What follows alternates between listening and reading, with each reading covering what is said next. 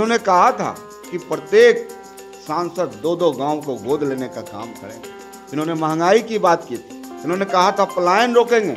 इन्होंने कहा था कि बिहार को विशेष राज्य का दर्जा देंगे। इन्होंने कहा था बिहार को विशेष पैकेज देंगे। आपको याद होगा, जब देश के माननीय प्रधानमंत्री जी आरा भोजपुर आए थे, उन्होंने कहा था सार्वजनिक मंच से, कितने लाख करोड़ दे दूँ? तो हमें लगता है नमस्कार, मैं मनीष और आप देख रहे हैं एक न्यूज़ 24 हमारे साथ मौजूद हैं आरजेडी के प्रधान महासचिव सह विधायक रणविजय साहू जी। रणविजय जी, प्रेस कॉन्फ्रेंस के माध्यम से जदयू के राष्ट्रीय अध्यक्ष ललन सिंह ने कहा है कि एक सितंबर से भाजपा का पोल खोल अभियान शुरू करेंगे, जिसमें हमारे महागठबंधन के जितने भी सहयोगी दल हैं, उनसे बात करके सहयोग की मांग करेंगे। क्या कहेंगे आप? देखिए, भारतीय जनता पार्टी, जो भारत जलाओ पार्टी, और आज तक जो इन्होंने राजनीति किया, धार्मिक उन्माद, हिंदू, मुस्लिम, हिंदुस्तान, पाकिस्तान, मंदिर, मस्जिद तो हमें लगता है कि भारत की राजनीति, आज जिस प्रकार से माननीय तेजस्वी प्रसाद यादव जी ने बिहार में मुद्दों पर बात की, बिहार को आगे ले जाने की बात की, आज रोज़गार की बात की तो हमें लगता है कि भारतीय जनता पार्टी और बीजेपी के नेताओं ने जो देश के लोगों से जो वादा किया था, जो नौजवानों से वादा किया था, जो किसानों से वादा किया था, इन्होंने कहा था कि प्रत्येक सांसद दो दो गाँव को गोद लेने का काम करेंगे। इन्होंने महँगाई की बात की थी। इन्होंने कहा था पलायन रोकेंगे। इन्होंने कहा था कि बिहार को विशेष राज्य का दर्जा देंगे। इन्होंने कहा था बिहार को विशेष पैकेज देंगे। आपको याद होगा, जब देश के माननीय प्रधानमंत्री जी आरा भोजपुर आए थे उन्होंने कहा था सार्वजनिक मंच से, कितने लाख करोड़ दे दूँ?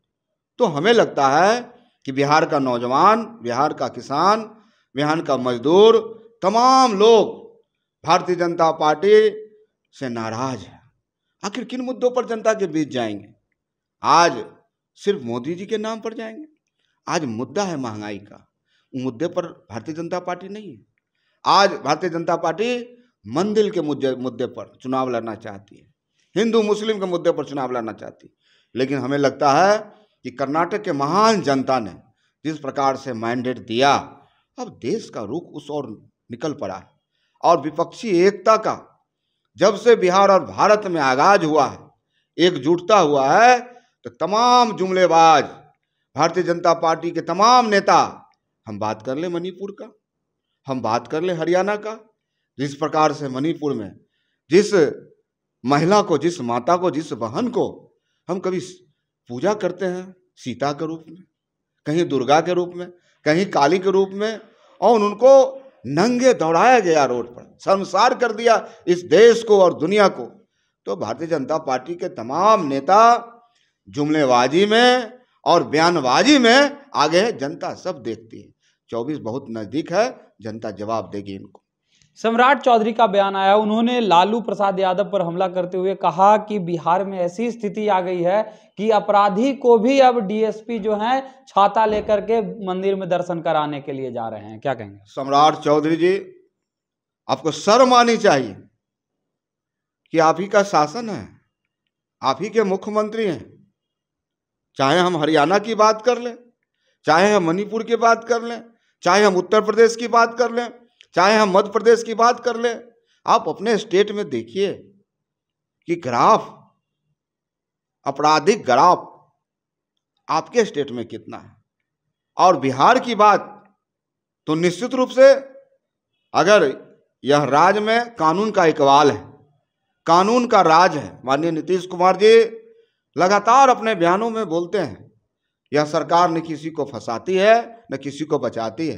हाँ अपराध अगर हुए हैं तो पकड़े जाते हैं। आंकड़े या बिहार में कोई बचता नहीं है। अपराधी अपराध करके कोई बच नहीं सकता। ये हमारे सरकार का प्राथमिकता है और लगातार इस दिशा में माननीय नीतीश कुमार जी माननीय उप मुख्यमंत्री तेजस्वी जी लगातार काम कर रहे हैं। अटल पार्क को कोकोनट पार्क नाम जब तेज तेज प्रताप यादव के द्वारा दिया गया तो भाजपा के लोग कह रहे हैं कि ये तो मदारी हैं ये कुछ भी कर सकते हैं। क्या कहेंगे? देखिए भाजपा के लोग के पास अब कुछ बोलने के लिए है नहीं। अब इतने बेरोजगार हो गए पूरी तरह से फ्रस्ट्रेशन में है, घबराहट में है, बौखलाहट में है। अब सत्ता इनके हाथों से निकलने वाली है और हमें लगता है इसे इसी का विलाप वह लगातार कर रहे हैं। तेज प्रताप जी, हमारे माननीय मंत्री हैं और लगातार पेड़ पौधों के प्रति, पशु के प्रति जितना प्रेम है, जितना लगाव है माननीय मंत्री जी को लगातार उन चीज़ों को आगे बढ़ाते हैं। तो आपने सुना ये थे आरजेडी के प्रधान महासचिव सह विधायक रणविजय साहू, जिन्होंने सीधे तौर पे कहा कि भाजपा के पास ना मुद्दा है, ना कोई एजेंडा है। वो सिर्फ़ मोदी के चेहरे पे चुनाव लड़ना चाहती है, लेकिन देश की जनता और बिहार की जनता जानती है कि सिर्फ़ चेहरे से चुनाव नहीं लड़ा जाता है, बल्कि मुद्दों से चुनाव लड़ा जाता है। इस तरह के तमाम अपडेट के लिए देखते रहे एक news twenty camera man Ranjeet के साथ मैं मनीष पटना।